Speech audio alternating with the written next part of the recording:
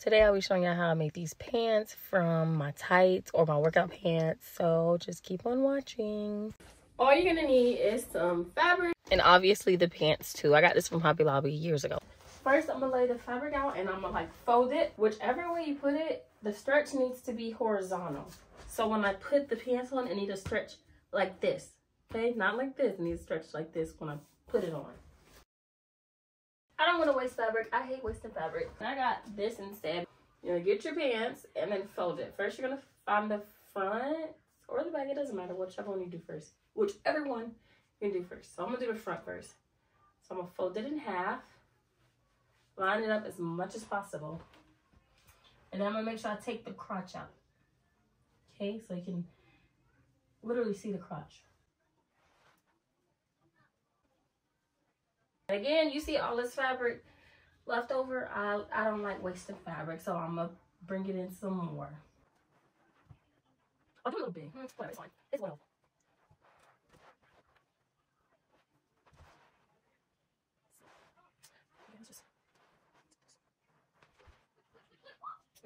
Fold it. This is the front, and then this with the little thing in the back, that's the back. So I'm to fold it so it's the front side. Make sure I pull the crotch out and lay it down. It doesn't have to look super perfect. Expect. So I don't want it like tight, I want it like straight leg. Mm,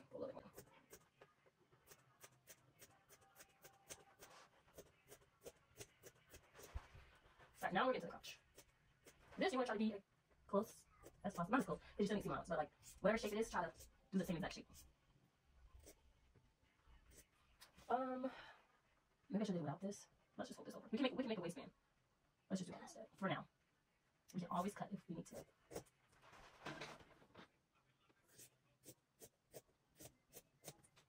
Since it's on the fold, I'm gonna just cut it straight down, like down the middle, so it can be two pieces instead of one piece. And if I need to like cut any extra fabric, then I'll just cut it.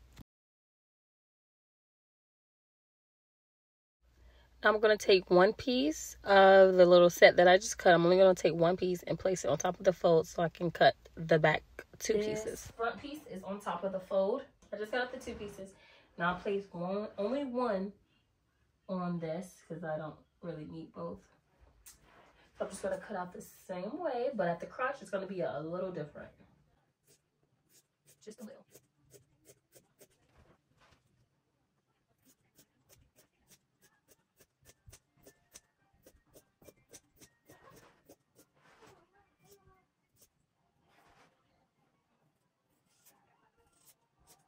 Just curving it a little bit more.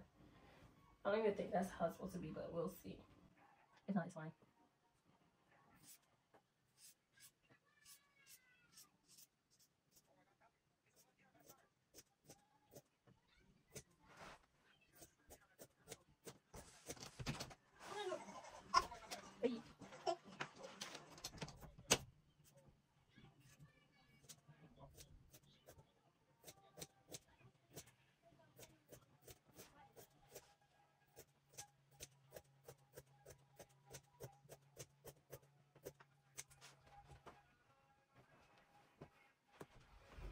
So we have two front pieces and we have two back pieces. The back pieces are like, has like the little, like a longer crotch. That looks kind of weird, to be honest. One back is going to go with one front. And then we're going to sew. So this is one back. The other back. Then it's going to go with one front.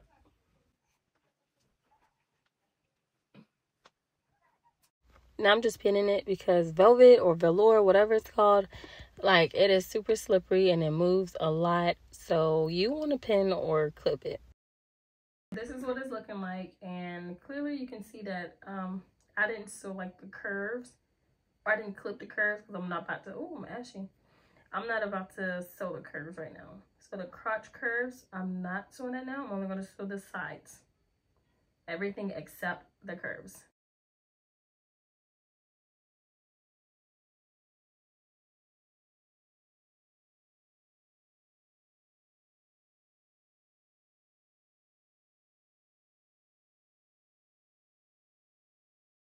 Now it's time to attach them together. So we have two. We have two that are inside out but just grab one pick any one and we're to make it right side out. The right side is out and i call this the pretty one. So the pretty one is to go inside the ugly one. Okay i hope you're following me. Make sure you, you match the seam. So just place it inside. The pretty one goes inside the ugly leg.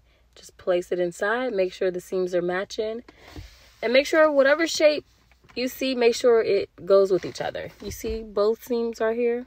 Well, both seams right here. Just attach them. You want to go all around and clip all around.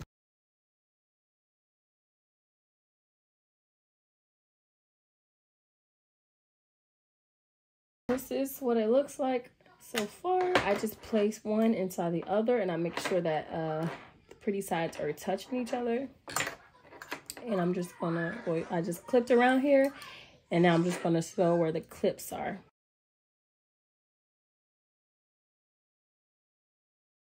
I didn't take out the uh, thing yet. But I wanted to show y'all how it looks when I take it out. so I sewn this I'm just gonna take it out. I'm gonna try this on see how it fits. And this is what it looks like so far. I'm gonna try it on, so give me a second. And I'm gonna do a waistband as well.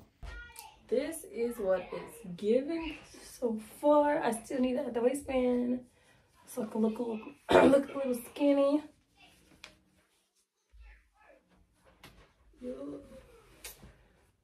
Smooth skin. Honestly, looks like um like night pants.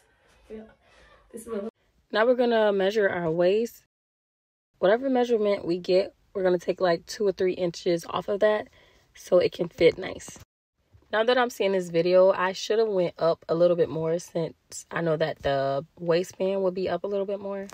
Now it's time to cut out the waistband. I want to fold the fabric and make sure it's at least 15 inches on one side. So when I unfold it, it can be 30 inches. My waist was really 33 inches, but since I wanted to fit nice, um, I cut it out to be 30 inches. So the whole thing, it was 30 by 4.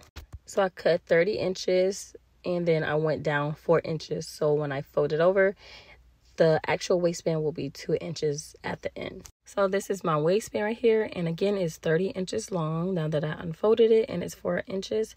So when I fold it over, it'll be 2 inches. Then I'll sew this along the long edges. And then I will turn it right side out and then I will sew it on the pants.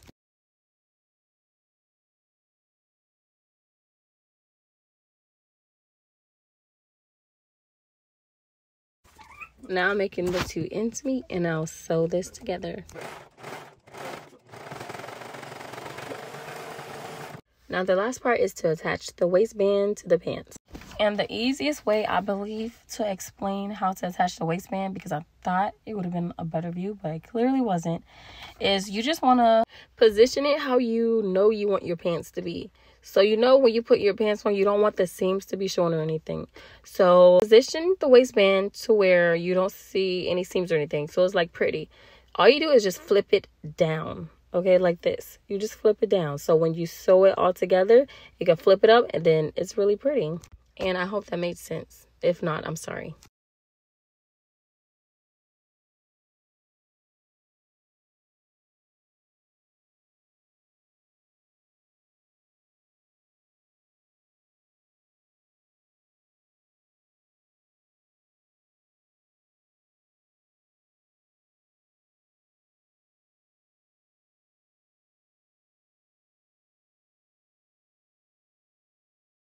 And this is what it's looking like. I don't know what happened with the back. Maybe i got it the wrong way because i didn't i usually like mark it which one the front which one the back. So maybe that's the reason why it looks a little weird in the back. Maybe i got on the wrong way. But yeah i hope you guys liked it. If not i don't know. I'll make more videos